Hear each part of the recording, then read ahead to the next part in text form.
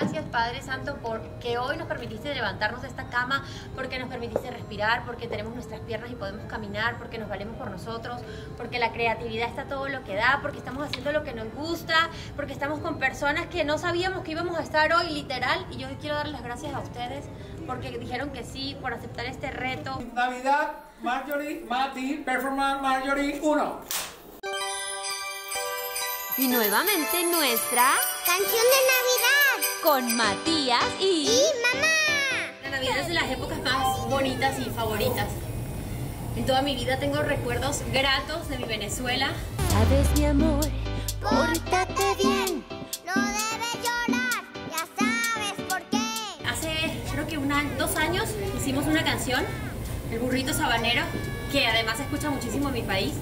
Y este año dije, ¿por qué no hacer una canción de Navidad que además todo el mundo conoce y que podamos bailar y que, y que represente alegría? Santa Claus llegó a la ciudad.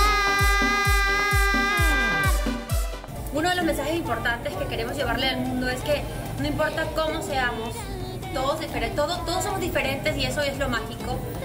Todos somos especiales, todos venimos a este mundo con una misión especial. Él sabe de ti, él sabe de mí, él lo sabe todo,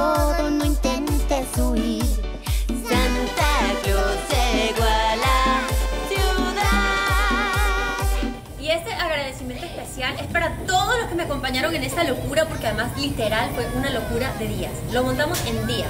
Gracias a todo ese equipo que está detrás de cámara, a mi querido Ángel Ramos, Venezuela, Gustavo, eh, Venezuela, a mi querido Andrés, que ya siempre le cambio el nombre, le digo Daniel, a mi querido Juan Carlos, a mi querido Julián, a mi hermano, a mis sobrinos, a todos los amiguitos de mi hijo, que siempre que llegamos a Estados Unidos lo reciben con los brazos abiertos.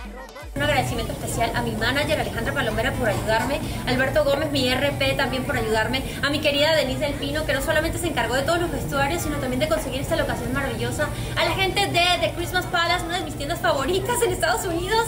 Gracias por abrirnos las puertas y permitirnos este maravilloso regalo de Navidad. Los amo infinito. Gracias a Santa que se portó increíble y me contestó el teléfono del Polo Norte. ¡Bravo, Mati! Y recuerden... No burlarse